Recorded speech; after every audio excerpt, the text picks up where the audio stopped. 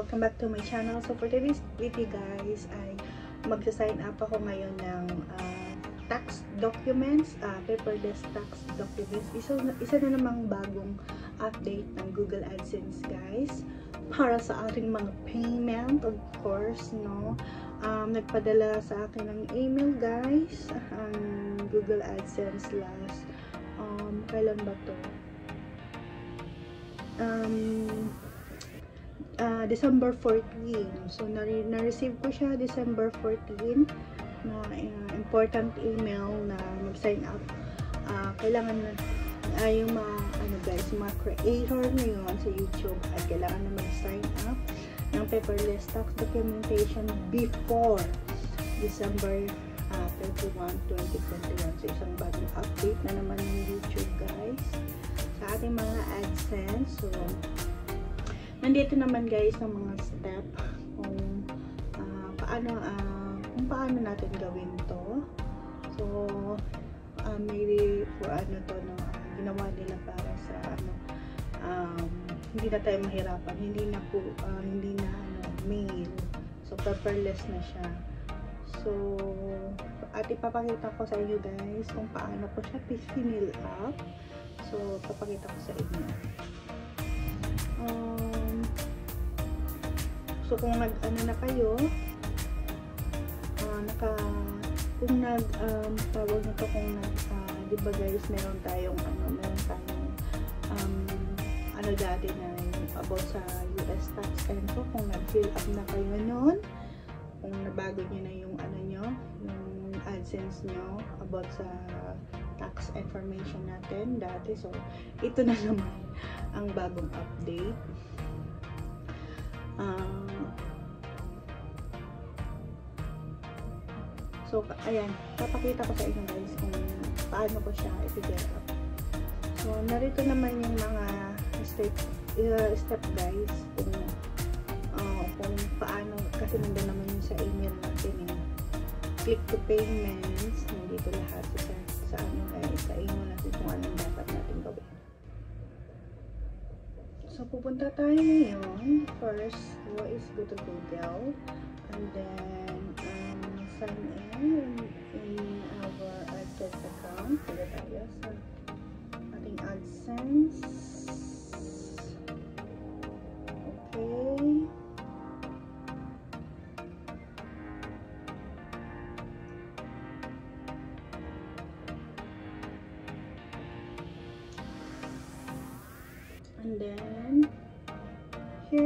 Tayo sa ating payments.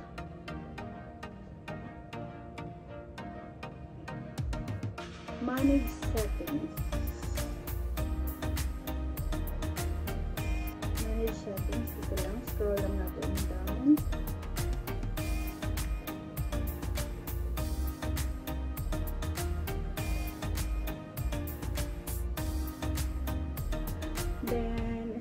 down to ating payments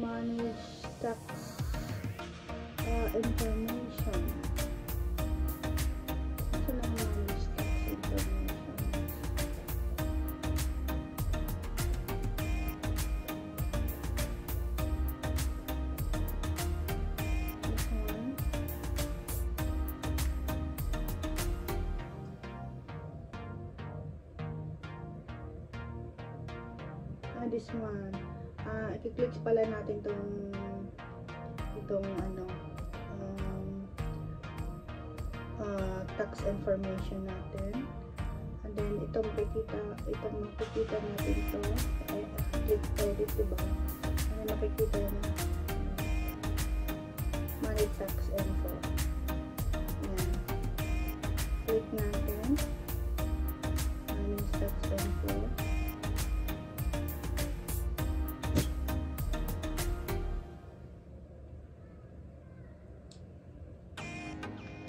i-click natin yung manage delivery preferences. Ito nakita ko na. Ayan, ito. Ah, manage delivery preferences. Ah, Uh, click natin to.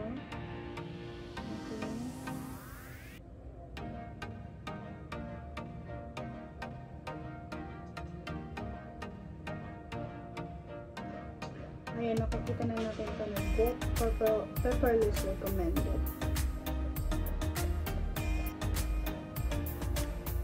Uh, basahin natin receive your tax documents electronically instead of by post. Doing pepperless can help you protect your personal information. Pepperless delivery of raiment. If you do not consent to paperless delivery, a paper copy of your tax statement will be delivered through mail service. Tax statement that will be sent to you electronically but not limited to forms as appropriate. Tax station holder will be google.com for at least 4 years. Oh, may ano siya. Mm, mm, some documents may continue to be made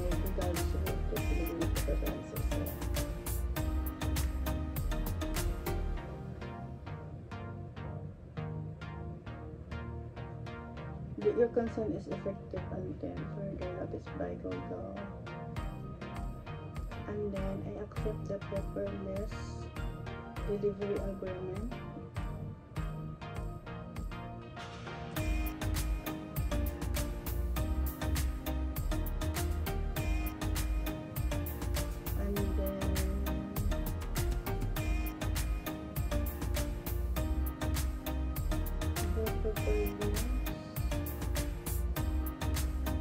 I accept the paperless delivery agreement. Huh?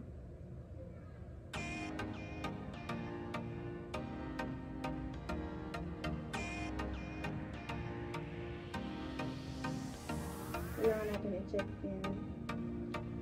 Update delivery preferences.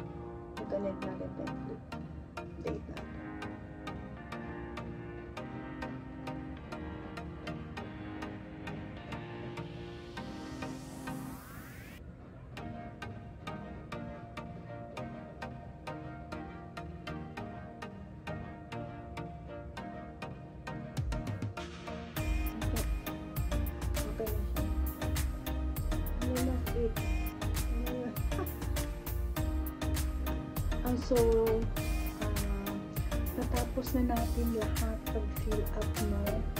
Uh, pinagita ko na sa inyo kung ano, ano, ah, ano natin fill up. So, tapos na.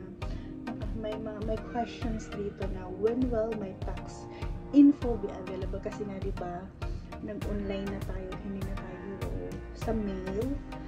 So, you'll receive an email notifying when your US tax documents are available online starting in January 2022. So, next year pa natin na, ano guys, ang mag-i-email sila sa atin sa kailan yung, ano natin, yung available yung tax documents natin online. So, these documents may be helpful for requesting a tax refund, credit, or other local tax benefits you are eligible. Ano na, hindi na tayo mahirapan sa ano guys. Makikita natin lahat online. If you do not have yet submitted your US tax info, yung unang update years or you need to make an update, please do so by 31 of December 2021. This allow Google to calculate your correct tax withholding at eligible refund may differences. Yun lang guys. That's it guys. Um, yun na lahat. Napaka-easy, napakadali, no? Kung paano siya i-ano, i-fill up yung paperless. So, kayang-kaya na na rin yan guys gawin. So, very easy lang. So, I hope so na natulungan kayo, nabigyan ko kayo na ng idea kung paano gawin. So, napakadali lang din. Ano yun lang natin, sundin lang natin yung mga information doon ano yung mga ano, step by steps, no? At, uh, ayun. At nakita nyo naman, so, uh, first time ko din siya i-fill up, so parang ano, medyo slow tayo kasi binasa ko pa rin yung mga ibang mga information doon. So, that's it guys sa my video for today. And see you soon on my next video guys. Thank you, thank you so much for watching and keep on supporting my uh, videos. And don't forget to like and subscribe on my YouTube channel. Don't forget to like on my videos guys and subscribe on my YouTube channel. So, thank you, thank you all so much. Bye guys!